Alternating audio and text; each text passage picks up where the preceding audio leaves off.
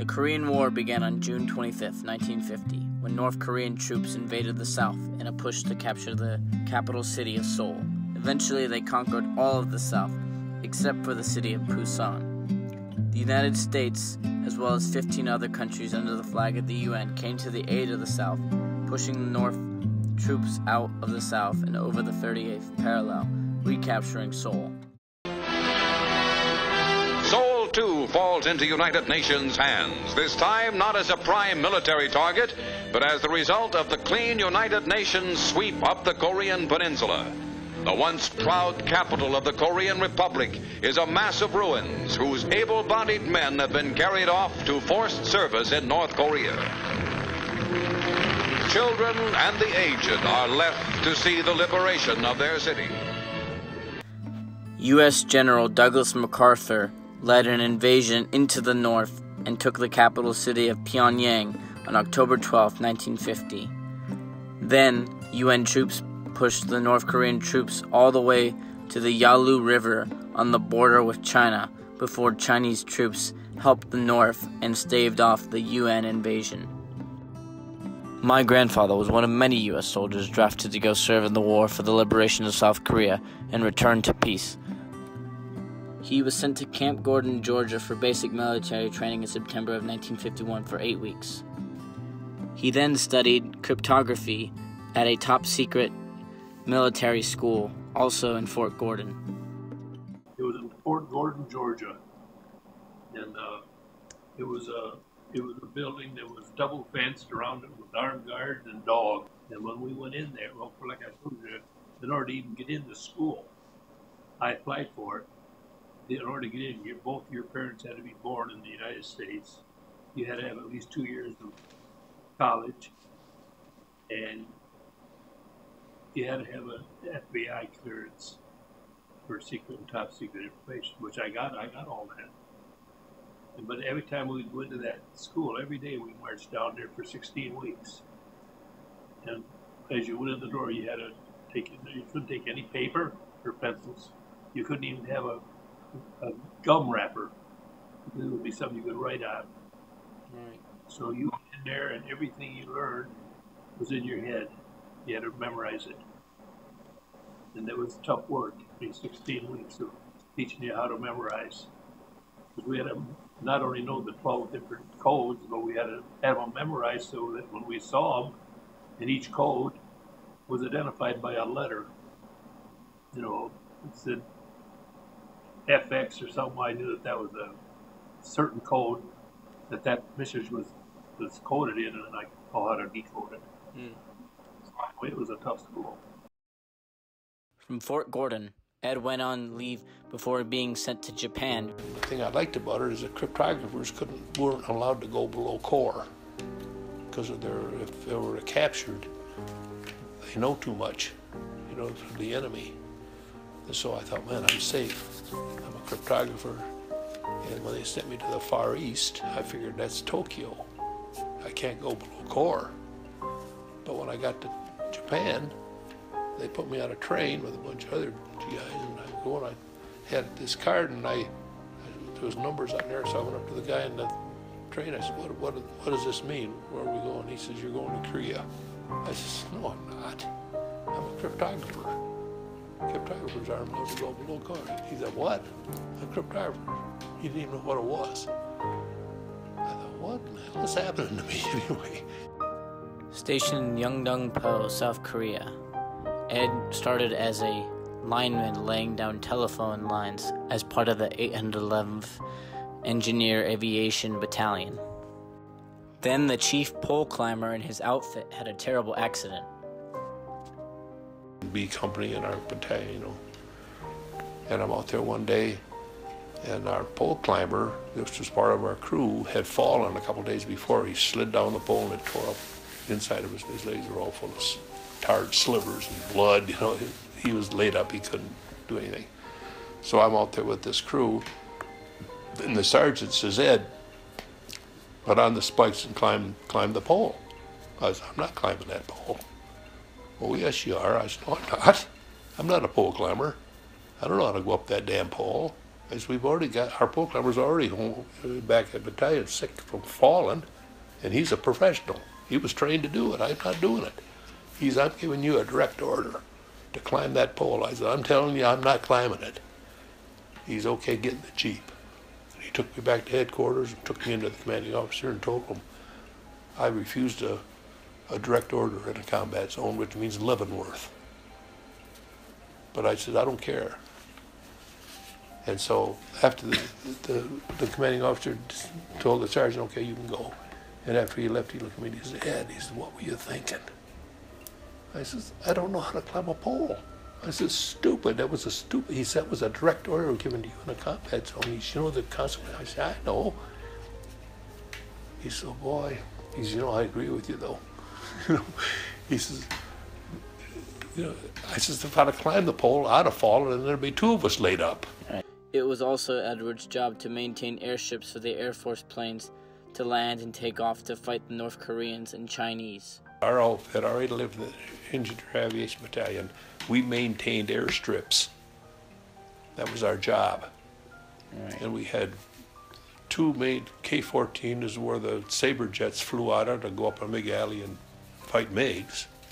And then K-16 was all a transport you know, equipment, you know, big planes. Would take take off in three, a squadron of three, and they they could only go up there for 10 minutes. They didn't have enough fuel, and they had to head back. So they'd go up and try to get a MiG. And so we'd watch them take off. And then when they came back, we had to wait 10 minutes. when they came back, if sometimes there would be two come back, we knew that one of them was shot down. But if when they came back, if one of them got a MiG, they would break formation and go straight up. Yay! You know, we got a MiG. And they'd come down and they'd land. And then when our outfit, when Sabre jets were taking off out of K, K-14 to go to MiG Alley, they used to have to have belly tanks on to have enough gas to go up there and fight for 10 minutes. And the belly tanks were heavy, and we had a, there was a mountain at the end of the runway. And we lost a couple of jets. They trying to get up, and they couldn't get over the mountain. They hit the mountain, and after about after we lost about two jets, two pilots, the order came down to remove that mountain. That was our outfit, because we made the airstrip. Right. So we went on, we went into K16 with dynamite and stuff. We drilled down and we blew that mountain apart and they crushed the rock and made new airstrips out of it. But anyway, they gave us like six weeks to, to remove that mountain. And we did it in a month or something. And that's that presidential citation up there. That's how we got that one on the lower right. Yeah, that's a presidential citation because because we did this and we saved aircraft and lives, and we did it in such a hurry. We did it in a record number of days. They gave us a presidential citation for that. One of the most impactful times in his service was his return from rest and recuperation in Tokyo to his base in Korea. And when you when you went on R and R rest and recuperation, you went to Japan, and they assigned you a flight. And I was in Tokyo, and then the day that you're supposed to go back, it was up to you to get there. And if you didn't get there, you'd be court-martialed. So I, I was in Tokyo, me and this buddy of mine, and we, it was our day to leave. So we got on the bullet train and we went down to Tachikawa, and I'm sitting in this rotunda with all these guys. And there was up at the podium. He, as he called off your name, you grabbed your gear and you went out and got on the plane. That was our plane out there. It was pre-assigned to us. And after he got all done calling names, we're still sitting there. So I went up to the podium and said, what the hell's going on? Said, That's our plane. Came all the way from Tokyo to get that plane. That's our plane back to Korea. And they said, what's your name? And I told them, and I looked down the list, and here, the list is this long, and it was alphabetical, so I was Glowski and he was Han. His, my buddy's name was Han. Our names were right next to each other in the middle of the flight.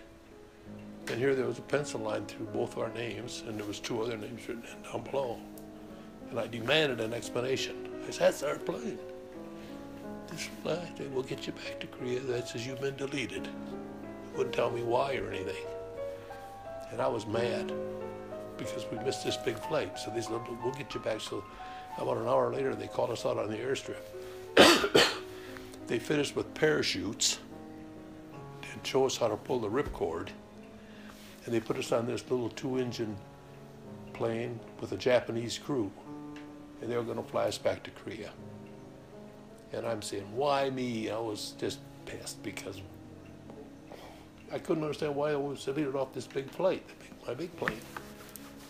And so anyway, we fly back, and then when we get to we get to Korea, Japanese pilot. He says, "We can't land. He says, the ceiling is zero, and we're going to fly around, burn off some fuel." Then he came back. and He says, "Well, we're either going to have to go in on instruments or jump." Jump? I said, no, I'm not going to jump, you know. And uh, so finally he said, "Come said, okay, we made our decision. We're going in on instruments." The, it's going to could be a rough landing.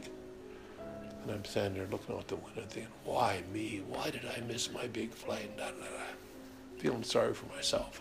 So we finally landed, bam, bam, bam, bounced on the runway. Because we had a bank in between two mountain ranges to land.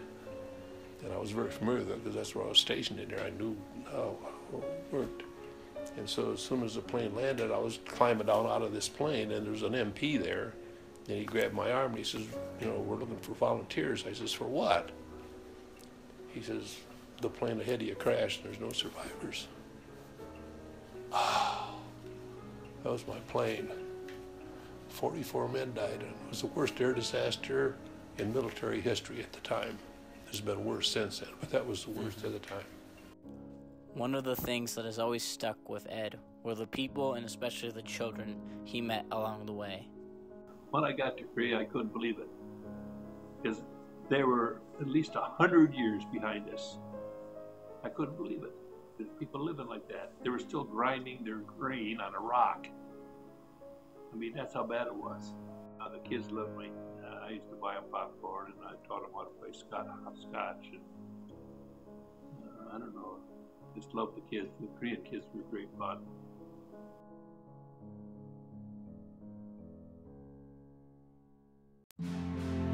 Nearly 70 years since the war reached an armistice, the world has changed.